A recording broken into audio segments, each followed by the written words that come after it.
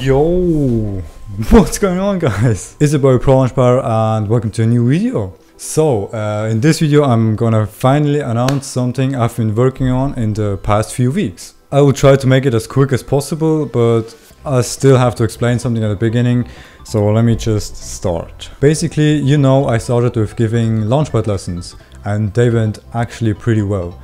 Like I got some great results out of it. There was just one big problem about it. I didn't have any time anymore. I literally have also several other jobs and I can't take any more time for it.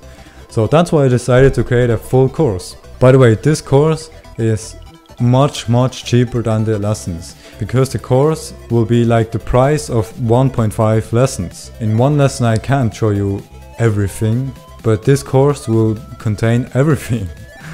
so yeah, so as I'm saying, this course is very very cheap.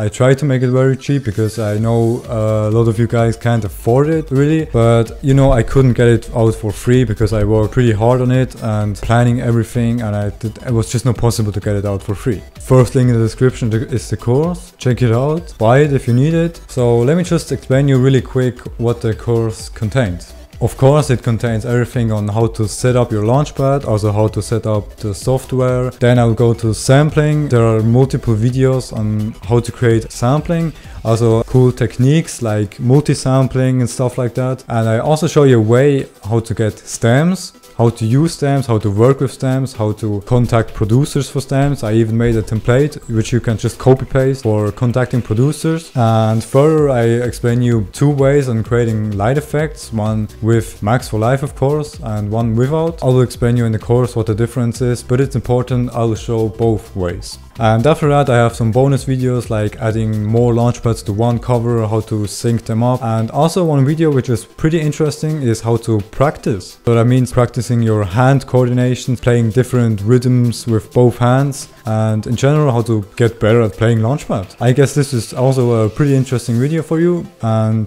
yeah, this is basically what the course contains. It's like somewhere around 20 videos. First link in the description is the course. Check it out. Buy it if you need it. Also, if you are a kind of experienced launchpadder, everyone has its own way how to create launchpad covers and how to create its sampling and everything. So even if you are experienced already, it is still a good opportunity to see another way. I mean, I discovered my own way how to create launchpad covers because back then in the days, no one told me how to do that because there were literally no tutorials and I had to figure it out by myself. I think I have kind of my own way how to create it. So I guess that's everything for this video. I hope you really enjoyed the course and I know it's going to be pretty helpful for you. So what are you even waiting for?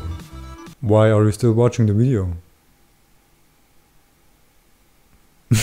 You're still here? Just go down in the description. First link in the description. Hope to see you in the course. Alright, have a good day.